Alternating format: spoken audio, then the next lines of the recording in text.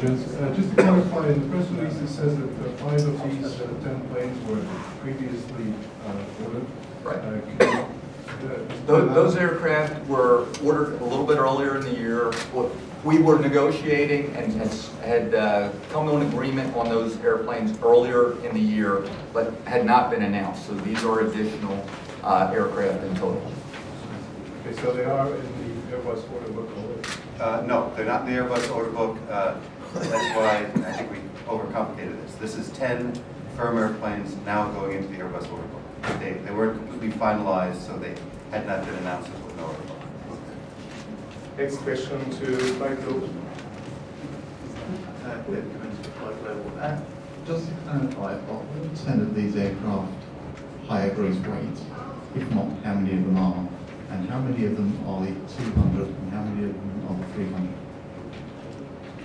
We have the flexibility in terms of whether they're 200 and 300, uh, or 300. We've talked about how important flexibility is to leasing companies. It's not only flexibility in terms of having an aircraft with range, with a range profile like we talked about, but also different iterations of that airplane. When we look at the 320 series, we, we order, we, we may order 320s, but we take 319s, 20, and 21. In this case, it's really based on what the airlines um, require. And in many cases, we're seeing a, what 10 years ago was a real focus on the 200, perfect airplane. But a number of airlines today, specifically in the Asian region, are driving towards the 300. And from my perspective, the increased range is really what's pushing that.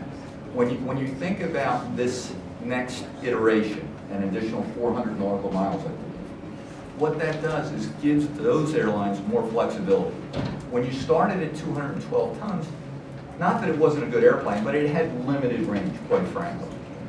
This airplane today is an airplane that can operate both as a shorter range airplane in those 1,800 nautical mile missions, but also can also fly out to the 6,000 nautical mile point.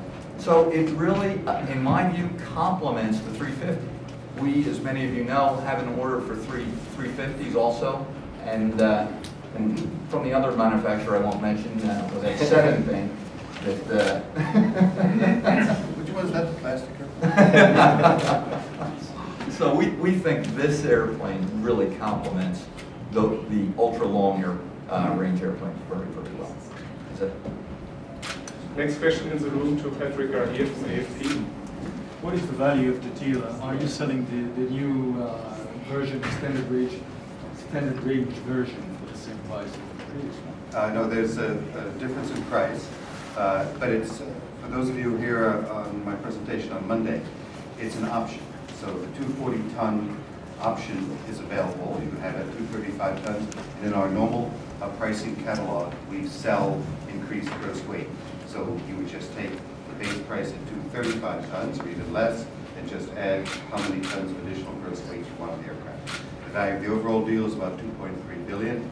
And for a question a little bit earlier, someone asked about how many of these aircraft will be the 240-ton version. That's up to CIT, but we start entry into service in the summer of 2015. So any aircraft, by definition, delivered before then, these start at 14, uh, obviously are the lower gross weight version. Next question to aviation, Jens Potter. Sorry, history. Jeff, um, do you see this aircraft going into the 350, 800 niche a bit because it's, with all the added uh, capabilities? I, I don't really. I, I think when you look at it from an airline fleet planning perspective, I think it's really a function of where the gravity of your routes are. If you are flying seven, six, seven, eight thousand, even realistically, more than four thousand nautical miles consistently, you should gravitate towards the longer range airplane because the efficiency comes in the utilization.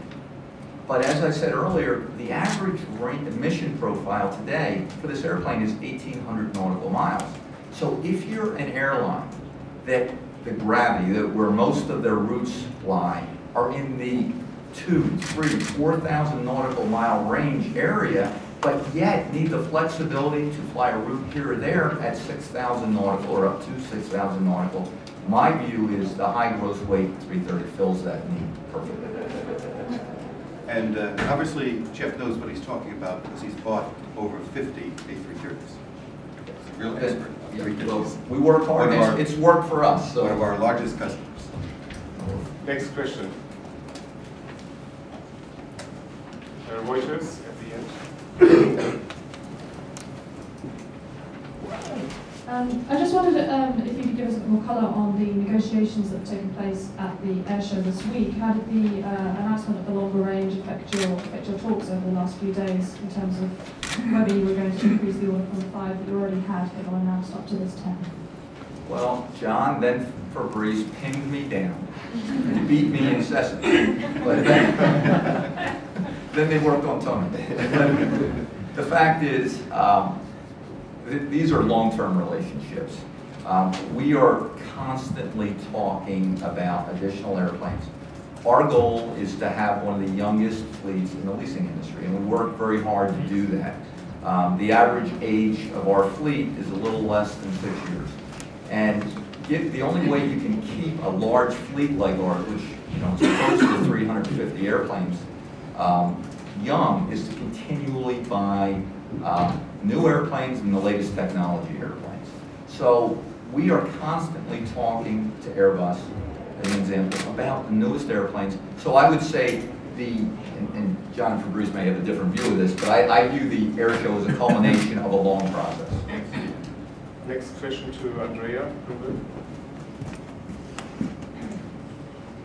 Yeah, Jeff, just a general question on the show. Um, aside from the excitement of this particular press conference, it seems like things have been slower than in, in previous years. And I'm just wondering if you feel that too, and just could comment on why um, we're seeing generally fewer orders than the volume you saw in the in Uh, the Andrea, past. this is a press conference about this announcement and not a general outlook over the show. But you come back tomorrow morning. Ah, why should I come back tomorrow morning? We we You're gonna have our wrap-up. uh, We have tomorrow at morning? 11, 11 o'clock. 11 o'clock. Uh, David, you had another question from Flight Global. Uh, As I said earlier, you're, you've got quite a large A330 commitment and a, a bigger one now. Is there room for the A330 freighter, either new build or converting in your fleet, or are you essentially just We we are, um, we are focused on the, on the passenger business. We think that the freight business today is an additional area of expertise. It's, it's not as, as simple as um, putting a freighter door on and then marketing the airplane. These, these gentlemen have a lot of expertise in terms of how the freight market works. I would say, um, at this point in time, we're gonna focus on where we excel, and we believe we excel in the, in the passenger market. There another question in the room?